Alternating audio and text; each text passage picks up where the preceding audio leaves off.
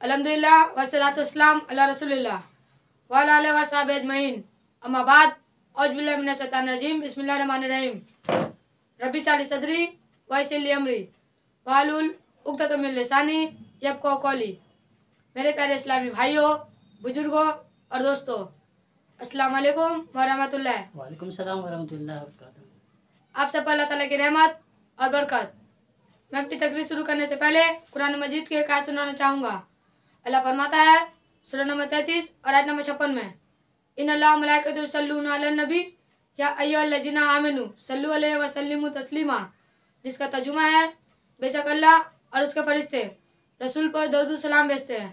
ऐ वालो, तुम भी उन पर दरुद सलाम भेजो ताइए हमसे मिलकर प्यारे रसूल मोहम्मद सल्लल्लाहु अलैहि वसल्लम पर दरुद सलाम पढ़े अल्लाहुम्मा सल्लि अला सय्यदिना व सफीना व हबीबना व उलाना मुहम्मदिन व अला आलि मुहम्मदिन व बारिक वसल्लम सल्लल्लाहु वसल्लम अलैका या रसूलुल्लाह सल्लल्लाहु तआला अलैहि वसल्लम आज के हमारे तकरीर का मौजू है आसमानी किताबें। दुनिया में बहुत सी किताबें हैं मगर हकीकत में सबसे अच्छी किताब और सच्ची किताब वो किताब है जो अल्लाह ताला की तरफ़ से भेजी गई है। जो किताब अल्लाह ताला की तरफ़ से भेजी गई है उसे आसमानी किताब कहते हैं। अल्लाह ताला ने इस दुनिया में बहुत सी किताबें भेजी है, मगर नाम से चार आसमानी किताबें हैं। पहला तौरेत, दूसरा इंजिल, तीसरा जबूर और चौथा कुरान। तौरेत को अल्लाह ताला ने हज़रत मूसा इस्लाम में फरमाया।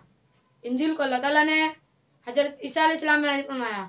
जबूर को अल्लाह ताला ने हज़रत दाऊद इस्लाम में नहीं फरमाया। और कुरान को अल्लाह ताला ने खातिमुन नबी, यानी कि सबसे आखिरी नबी, मोहम्मद सल्लल्लाहु अलैहि वसल्लम पर नाजिल फरमाया। तौरेत इंजिल और जबूर।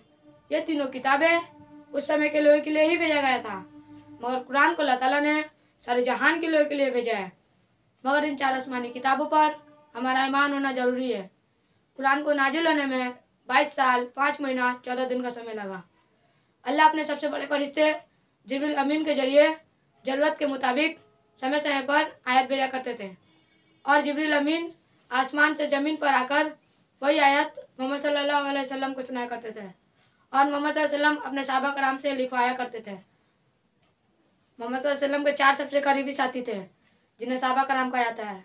जिनके नाम हैं हज़रत उमर बिन खत्ताब रजील्ला हज़रत अबू बकर सिद्दीक रजील्ला हज़रत उस्मान गनी रजील्ला और हज़रत अली इब्न अबू तालिब रजील्ला उन सब अल्लाह ताला की रहमत और बरकत, बेशक की कुरान वह किताब है जो हक को बातिल से अलग करती है। यानी कि इंसाफ करती है। बेशक की कुरान वह किताब है जो मना करती है कि जो लोग अल्लाह को छोड़कर किसी और को पूजते हैं, उन्हें बुरा भला मत कहना। बेशक की कुरान वह किताब है जो कहती है कि किसी एक बेकसूर इंसान को कत्ल करना, सारे इंसानों को कत्ल करना जैसा है, और किसी एक बेकसूर इंसान की जान बचाना, सारे इंसानों की जान बचाना जैसा है। बेशक की कुरान वह किताब है जो हमें ज़िंदगी जीने का सही तरीका बताती है। बेशक की कुरान वह किताब है जो जन्नत की खुशखबरी और जहन्नम के डर सुनाती है। बेशक की कुरान वह किताब है जो हमें सब्र करने की हुक्म देती है। बेशक की कुरान वह किताब है जो सारे जहान के लिए रहमत बनकर आई है। बेशक की कुरान वह किताब है जो क़यामत तक महफूज रहने वाली है। बेशक की कुरान वह बात है जो अल्लाह ताला की तरफ़ से बोली गई है। बेशक की कुरान वह रोशनी है जो दिल और दिमाग को रोशन करती है। बेशक की कुरान वह किताब है जो हमें अंधेरों से रोशनी की तरफ़ ले जाती है। बेशक की कुरान वह मज़बूत रस्सी है, जिसे कोई तोड़ नहीं सकता। यानी कि कुरान क्या है तो वो कोई बदल नहीं सकता। बेशक की कुरान वह किताब है, जो सारी जहान की रब की तरफ़ से भेजी गई है।